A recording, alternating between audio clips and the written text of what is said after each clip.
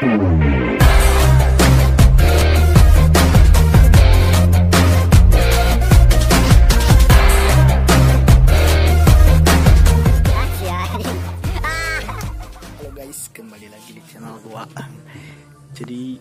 jadi jadi, jadi gua kemarin mudik nyobain bawa si ini. Mau nyobain bawa jauh pakai mudik. Eh, ternyata dia gak kuat guys di bagian rem.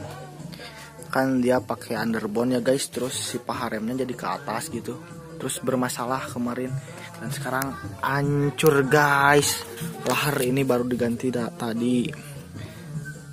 Gak kuatin.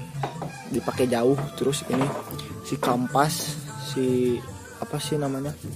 Si kampas. Cepat habisnya. Ini kampas baru ganti kemarin guys tuh parah aduh. Langsung hitam semua ke sini. Langsung gak muter. Dan si pernya langsung hancur guys. Gak balik lagi. Parah.